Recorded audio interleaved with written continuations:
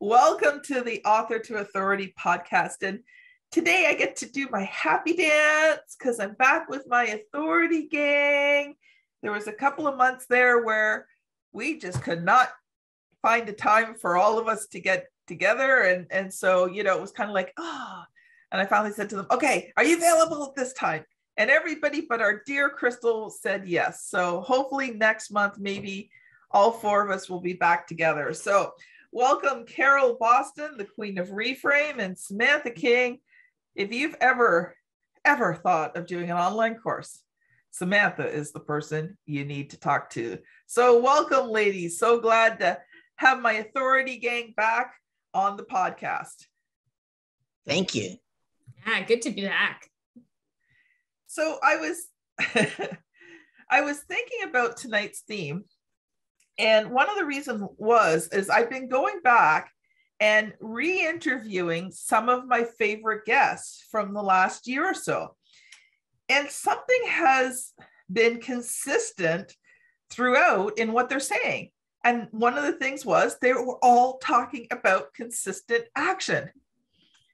And I, I mean, they don't know each other, but it was like almost almost every podcast episode at some point they talked about consistency and i thought okay there's a theme going here and i was thinking about you know the four of us and you know what's been going on in our businesses over the last few months and i thought you know what consistency has played a humongous part. So I put that in our Facebook group message, and Carol puts, Is that because we've been inconsistent?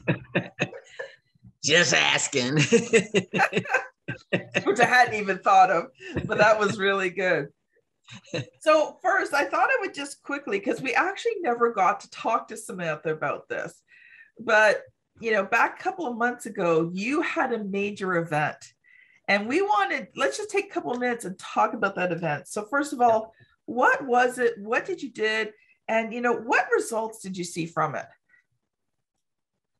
Yeah, no, I'd love to talk about that. I mean, really, this this is a signature virtual event that I do twice a year called Friend Zone to Authority Island, and it really is about you know getting out of the friend zone with your audience. And how do you know you're in the friend zone? Well, chances are that nobody's converting, nobody's taking action. You're struggling to get people to even just take your free stuff, let alone buy, right?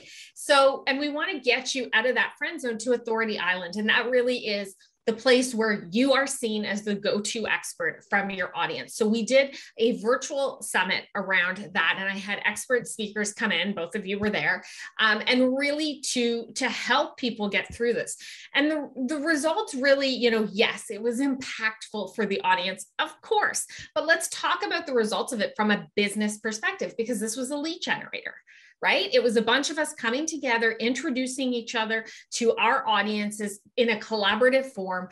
And it really helped us all kind of move up to that expert status authority status instantaneously because our audience trusts us and we're saying hey here's somebody who's worth who's worth giving a listen to guys so, really, you know, that's what this summit was from a business perspective. And then it moves into what's next. So, I know that we're like, we're here to talk about consistency, but I love that you said consistent action because if I hear the word consistency or be consistent one more time, I'm, I'm going to smash my head against the wall because, and I'm going to tell this to you honestly, because it's become this buzzword that we're like, if you want to win, be consistent. Well, I can sit on my couch consistently and watch television, and you guys know I love to do that. Um, but that's not going to do it. Like that's not an action that's going to do anything, right? So it's about that consistent action. And I love to throw a bit of strategy in it because for me, there was, yes, the sales at the summit, but then there was what was next.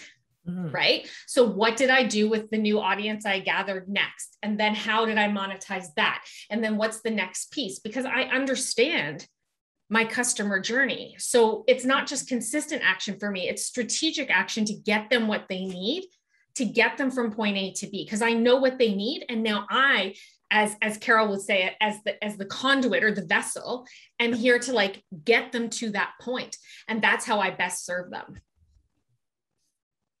Wow. So were you able to add a substantial number to your email list? Substantial number to my email list. Uh, we had, and, and again, good, good sales, like a return on investment in terms of sales. Um, I did have a good number to my email list, but I also had a good retention rate, right? Because mm-hmm. sometimes we subscribe to these things, we go to the summit, maybe we buy the VIP pass, maybe we don't. But then after a little while, we're like, okay, yeah, summit was great, but I'm done now. Right. Like I came to you for the summit and now I'm out. Right. we do that. We all do that. Right. Yep. And so the retention was about 70%. Nice. Which is a pretty good retention. And the conversion oh, yeah. on the sales page and all that stuff was bet- about 80%. That's that's really that's good. Super high. Yeah. Yeah. That's super yeah. high. It means you did your job well. I did, but you know what, guys? I am not, this is a thing, right? Just like, you know, it's, I always love hearing Carol because Carol inspires me. She gets my mindset going. I'm jiving. And I always hear those, those, uh, what, what do you call them, Carol? The writer downers, right? Yeah. Copywriting is not my specialty. So I had somebody come in and do the copywriting. Mm. I worked with somebody to organize the summit to help me figure out the strategy, right? And and I saw a return on all of those investments. What I put into copywriting came right back. So That's it really is, you know, it, it's about, I think when we say consistency, it's not about trying to do it all. It's about trying to do what we are good at and cert, like I said, understanding that customer journey so we can consistently show up and serve our audience. Because that's the only way that we're going to be able to do what we're here to do. You know what? You brought up such an amazing point there, Samantha. And that is, it's not just consistency, and it's not just consistent action, it's targeted and it's not everything, right? Um, I don't have a physical copy of the book, but uh, on my Kindle, I have The Compound Effect by Darren Hardy. And in the book, he talks about small actions done over a long period of time and how when you do the right actions over a long period of time, and they don't have to be big actions, they just have to be the right small actions. Over a long period of time, you hit that, you hit what he calls the tipping point into momentum, mm-hmm. where all of a sudden all of that action takes on a life of its own. Yeah, and, and I think I need to go back and reread that book. Yeah, because what we get stuck in, and Carol, I'd love to hear your thoughts on this, but I think what we get stuck in is like consistency is another one of those buzzwords like passive income, right? And I'm like, I don't even like, what does that even mean? Right.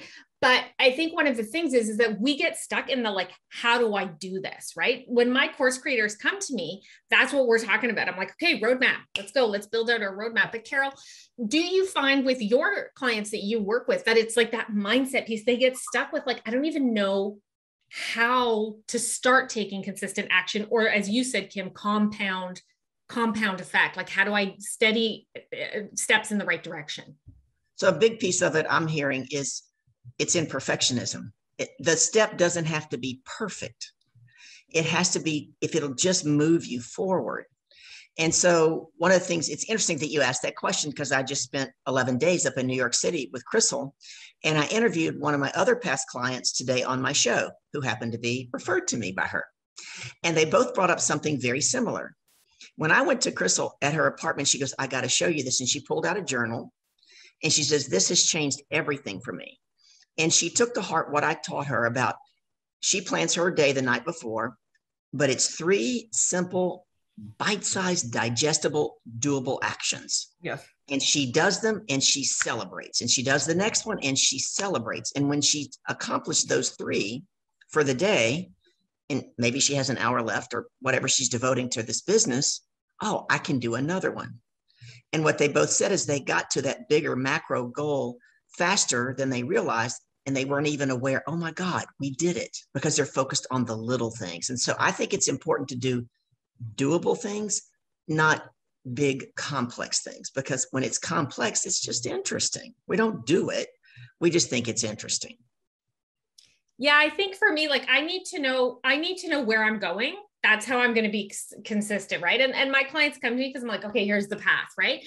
But to your point that's a double-edged sword because then what happens then i'm like oh there's all these things going on and now i've got to do this and i've got to do that and i start looking at it as this macro piece and i'm not then then I there's that greater chance that we can get overwhelmed, right? And that's the power in the micro, the doable task. Absolutely. And, and oftentimes when I'm asked or my clients talk about being overwhelmed, I tell them I don't believe in overwhelm, right? Overwhelm is a feeling. Mm-hmm. And I tell them when you're overwhelmed, you're, you're in my world, you're one of two things. You're either uncommitted or you're unprepared. And you figure out which one you are. If you're unprepared, then what three things can I do to get prepared? And if you feel like, well, I've got the preparation, I'm just not committed, then we ask some empowering questions around that to understand what's at the root of that to get you recommitted to what you said you really wanted. And I think one of the things that you brought up in my mind is we don't own a goal. The goal is always out there, but we own our intentions every day. Mm-hmm. So if you're willing to set those three or four bite-sized doable things and your intention is to complete them and celebrate them, that's where the success comes in. Mm-hmm. I think overwhelm too sometimes has a basis in fear. Yes. Mm-hmm. You know, it, it's it allows you to stay stuck. You just tell people I'm overwhelmed and you sit there and do nothing. It's a cop out. It is. I know sometimes with me though, when I'm feeling overwhelmed, I I know that you know I'm afraid of almost what if it's like it's like that fear of success. Yep. You know, what if I do all of this and nothing happens? Mm-hmm. What if I do all this and everybody else gets the glory? right? Mm-hmm. And, um, and, and, and, and, don't get me wrong, because you know, there's times like the other two things you mentioned are, are definitely there, but I, I've known sometimes with myself, it's almost like I go into overwhelm because I'm afraid to try. So, mm. like you said, overwhelm becomes the cop out, right? Like I, I, I've got too much on my plate. I can't do this. I can't move towards that. But then when I really look at myself, it's like, can I really not move towards that? Or is it just I'm afraid to move mm. towards that? Yeah. Right? Or I don't know. And, and I think it's interesting that you say that because people bring up like fear of failure. But for me, I'm like, but what about fear of success? Right. And I think it is too, for me, with when it comes to overwhelm and like to say that we don't all, we all feel overwhelmed in our lives. Like, let's be honest. Yep. But to Carol's point, usually it's because I would I would agree that it's because I'm unprepared, probably because I have like 50 million things I'm juggling right now. Um, and and I sh- should have said no to more things because no is a complete sentence, people, right? Um, yes, we like that one. right? No is like a complete sentence, That's people. A- I have it on a t-shirt for sale for you. Um, but really it, it, comes back to that piece right and, and i think the other it comes back to that piece too though for me sometimes i just don't know what and and i think this is again coming back to what carol said right? We want to know what the right first step is right? It's not even if we're like okay here's the first step then there's that when you're in stuckville there's time as carol said to second guess yourself. So now you're like you're like okay well this is what i think i should do. Now i'm going to am i going to spend six hours going well is that the right thing to do or should mm. I do mm. this? Guess what, guys? You want to know what the right sales copy is or the sales funnel, the right sales funnel is? You have to actually try something. Yes. Well, I was going to say, sometimes you just do not know until you do it and you try it and you test it. Now, I mean, there are some things in business that are kind of immutable and, you know, you learn it, you do it. But there is mm. so much to being an entrepreneur, you know, that I learned by trying and it not working. Mm-hmm. And people will say, well, you failed. No, I didn't fail. I just figured out the way that didn't work. And now I've crossed one more off my list and I'm closer to figuring out the way it does work. Right. Yeah. To me, it's not failure, it's just experience.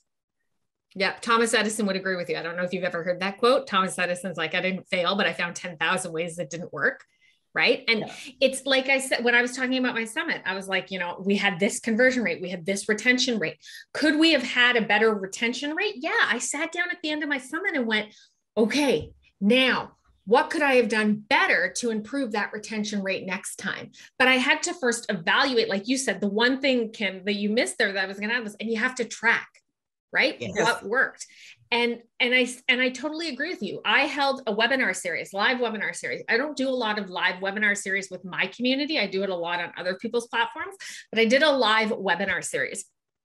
And you know what? My audience some people showed up more people watched the replay. Mm-hmm. there's two things we can gather from that. One They like they just want the content. Two, chances are they just want the content in that way. They don't need it live because they're used to getting YouTube videos from me because YouTube is like my content flagship. That's my authority island where like everything that I mm-hmm. that I teach is there. I'm the expert on my YouTube channel. They're used to just getting a YouTube video that they watch they watch it on their own time. So I looked at that and went, okay, no, it's not that my numbers were low on my webinar because I was actually trying out some different things with webinars, but my audience, I learned just record the video, send it to them. Yeah, that's what they're there for. And the ones who want to show up live, I can use a platform like Restream, do it live, then it becomes a YouTube video and send that to my list. Right. So it's about, okay, what did I learn from this? What are they telling me that they want? Right. It's like kids, right? You give your kid peas and they throw it back at you. They're like, oh, you know what? They probably don't want that. Now I'm going to feed them something. Let's feed them something else. Right. It's a trial and error. So true. So true. Except Brussels sprouts. In my house, you had to eat one Brussels sprout. I don't care whether oh. you like them or not. You ate one. Well, see, normally I like Brussels sprouts, but my kids are autistic. They don't eat anything. Deal. But with my son, he refused to eat anything green. So it's mm-hmm. like, okay, son, you occasionally have to have green in you. So you've got your choice. You can have this green or this green, but you are having one green. Mm-hmm. and it would take him forever to eat that one Brussels sprout, but he was not getting down from the table because that kid needed green in him. Yeah. Uh, but you know what? Something that um, I was kind of thinking of too is I was thinking about um, I probably mispronounce his name, but Pareto's rule, the 80 20 rule, right? Mm-hmm. How yeah. do you figure out that 20% that's going to give you the 80% of the results mm-hmm. unless you try something? Mm-hmm. You do, like you it, try it. And then sometimes you just find out you have to go down a path to find out what you don't want. Yeah, and that's another important piece. It's kind of yeah. like, and I know that, you know, Sam helps her clients with this. They feel like they have to be married to their niche. Mm-hmm. And you don't. You can date your niche, right? Mm-hmm. Just like I'm putting together a very high end mastermind that is very narrowly niched female mm-hmm. family lawyers. Yeah. My second mastermind might just be entrepreneurs. I don't know. Yeah. Um, but I'm going to go down this path to find out what it what it brings me because I've had great success with female family lawyers. But mm-hmm. I'm very comfortable in knowing, you know what, my second one might be something else.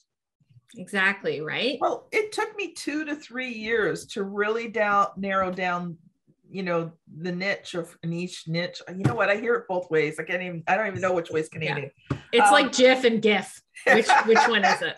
Right? Just just say it the Canadian way. yeah. yeah, which way is the Canadian way? I don't know.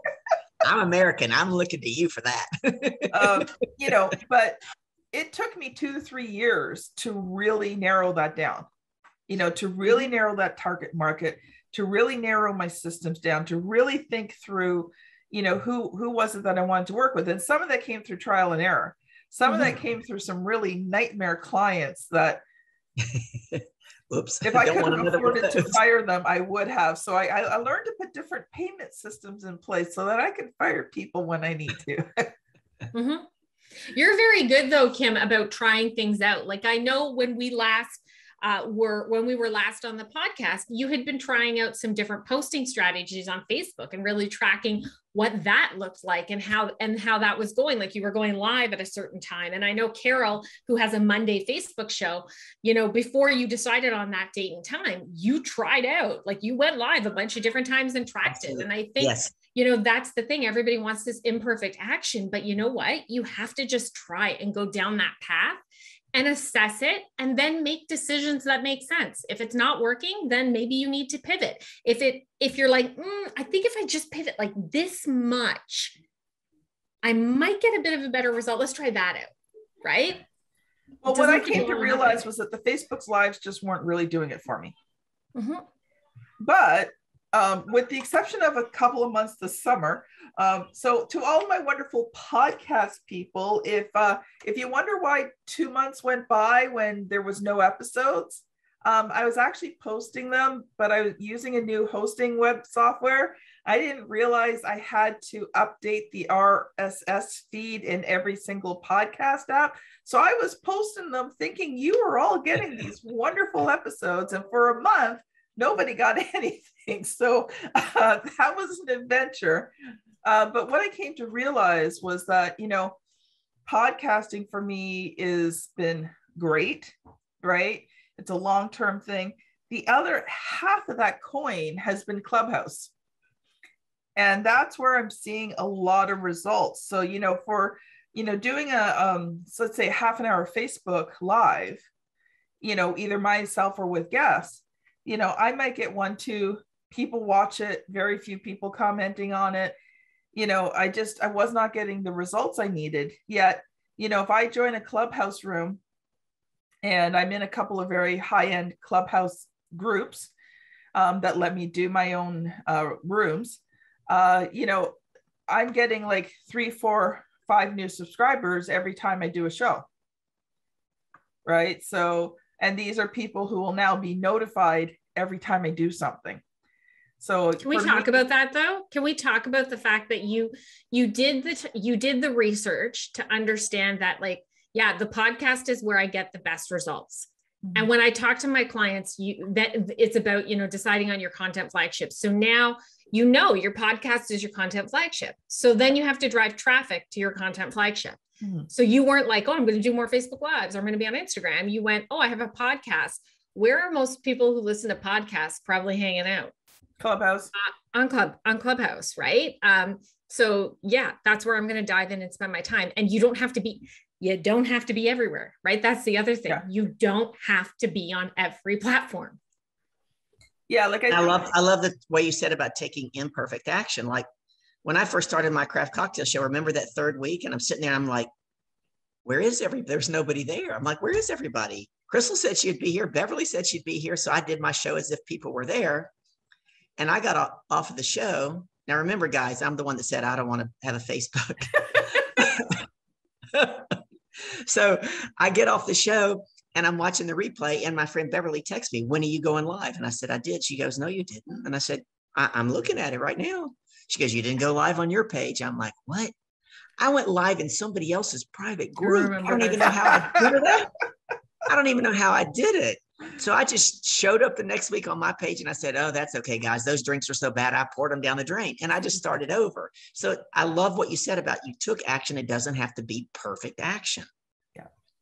And now, how many people show up to that show, and how many comments are on those videos, Carol?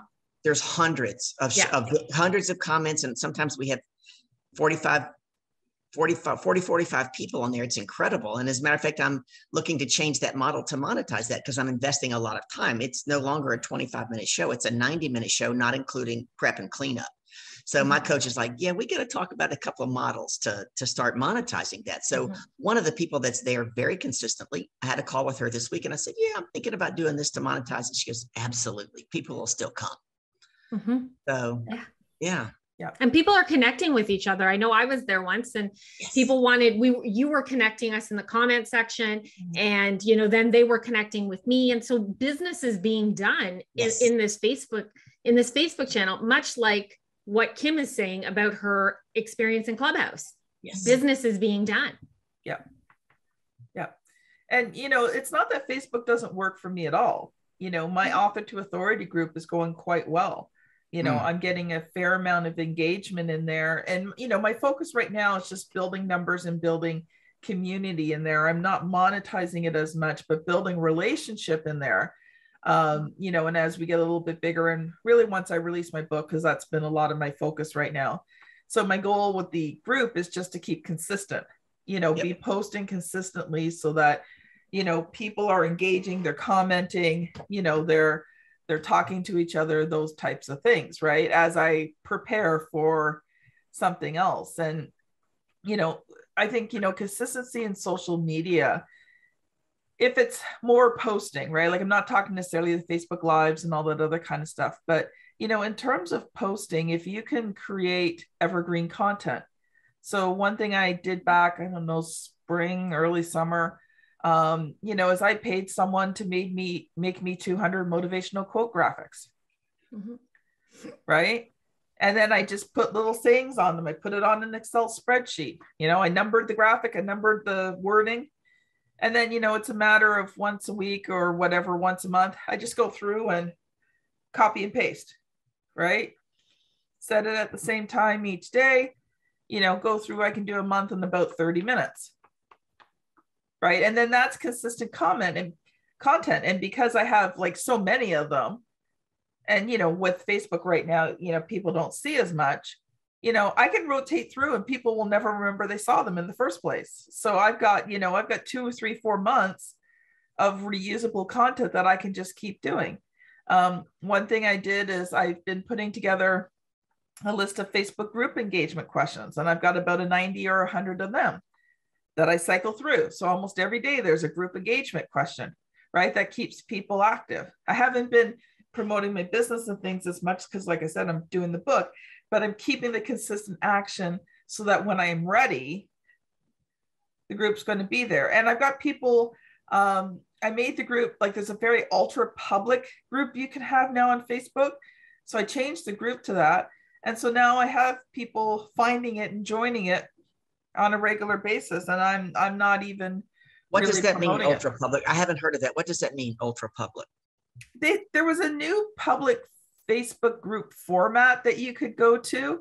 I don't remember what they called it, but um, I don't know, quite a few months ago now, they they they brought it out and they basically it just makes your group more findable.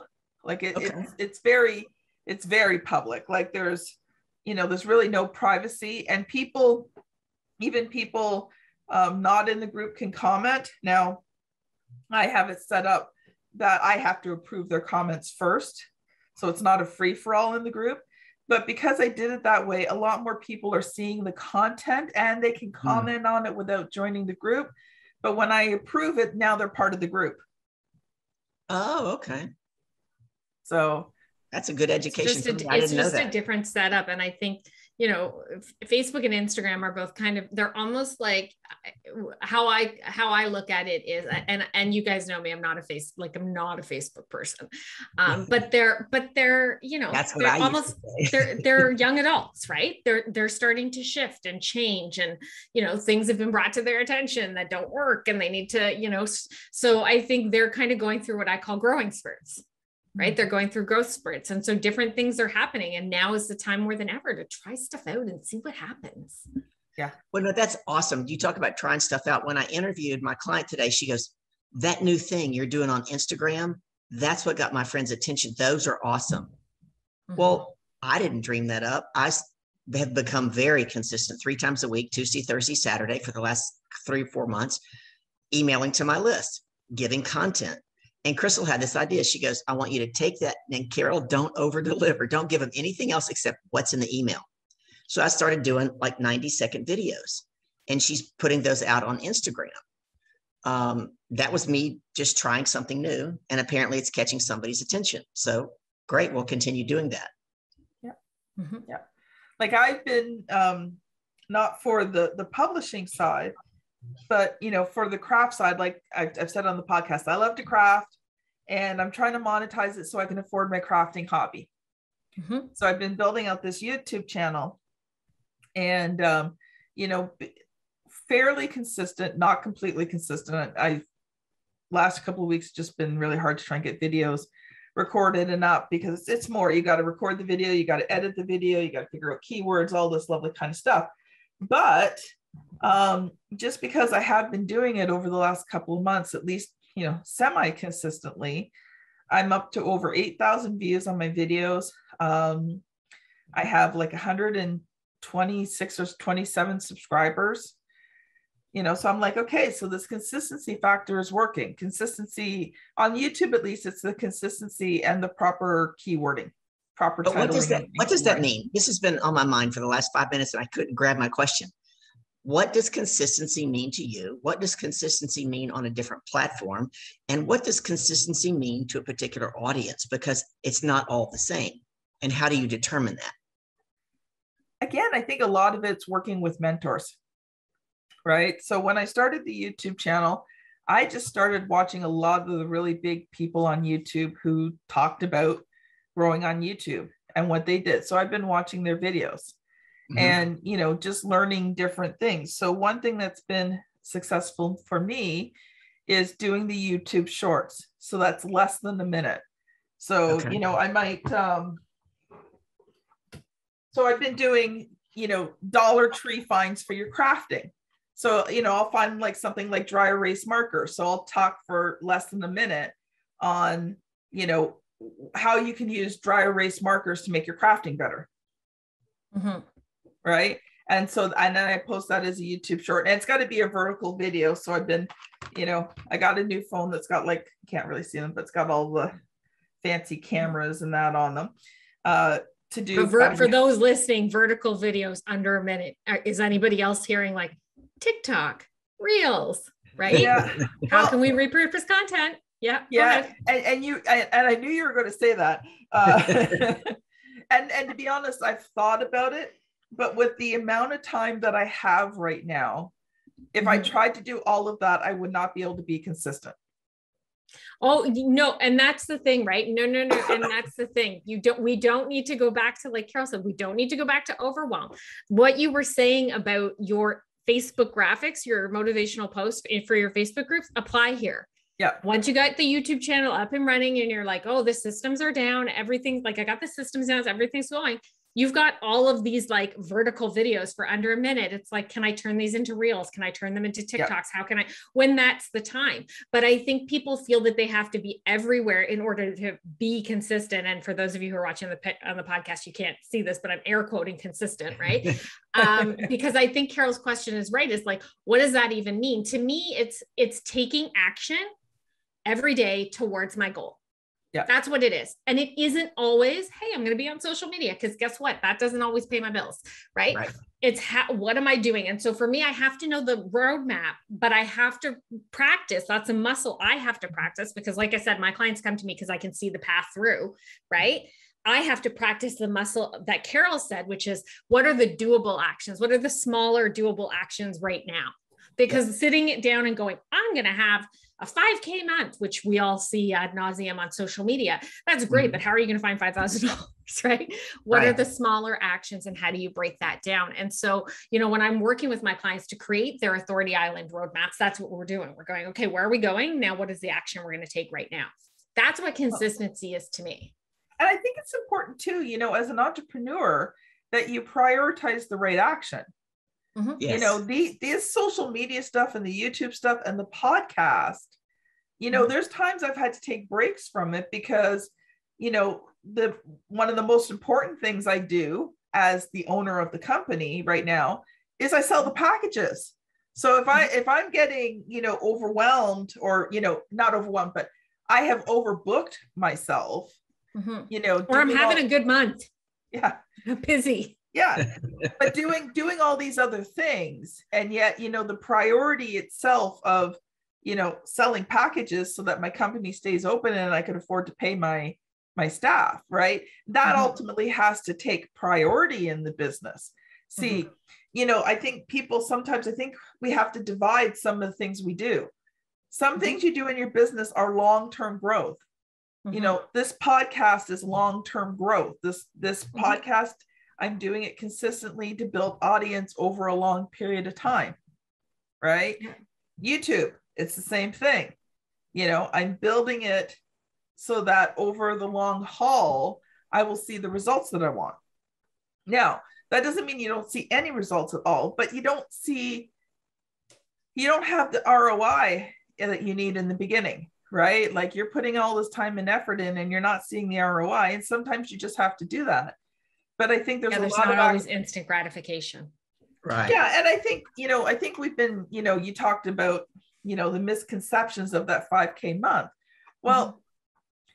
if you're going to do a 5K month, you know, you better know your numbers, mm-hmm. right? If mm-hmm. if you're selling a hundred dollar items, mm-hmm and you want a, a you know a five thousand dollar month, I think it's like fifty items or you know hundred items, whatever. I I'm too tired to do mental math right yeah, now. Whatever that is, the audience right? can get out their phone and on their phone they can open the calculator app and figure it out. Yeah.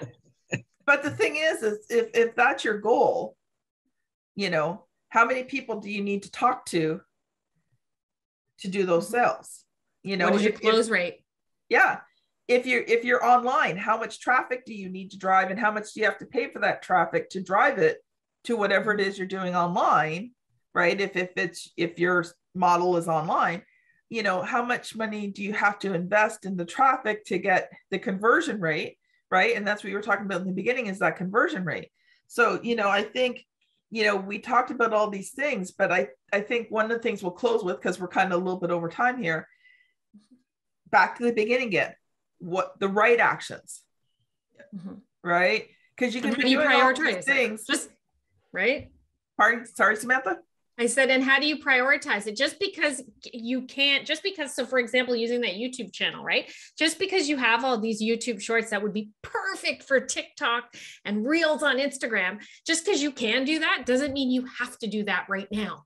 Yeah.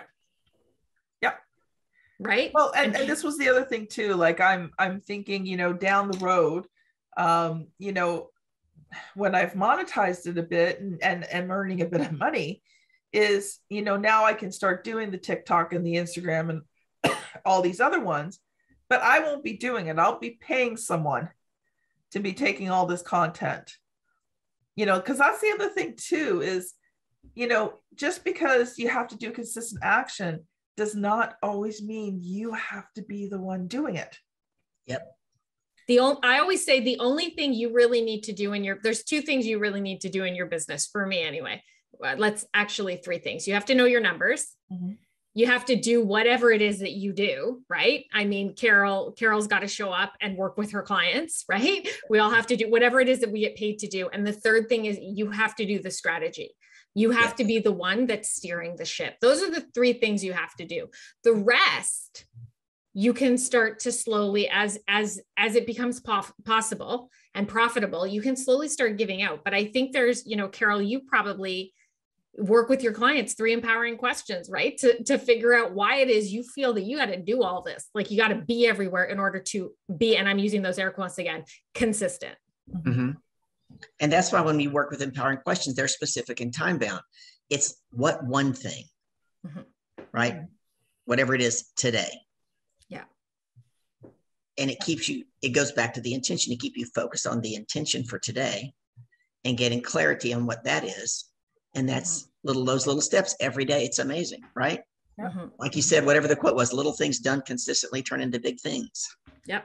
Yep well we're running a little bit over time so we got to tie this up. Carol what's your thought that you one thought you want to leave everybody with today? Oh my goodness one thought after all this good content? I know i know i'm so hard on you. You are. And you made me go first. Um, one thought. I would go back to something that I've said before. Take the next step. Doesn't have to be a perfect step. Take the next step, trust in the process, and be able to look at the results without judgment. It's not about, oh, that was terrible. No, it was just like that just didn't give you the exact results you wanted. Mm-hmm. Take what you like from what you did. Sam's word, pivot, and then add to it, and then look at your results the next time so you know your numbers. That's what I would say. Awesome. Samantha.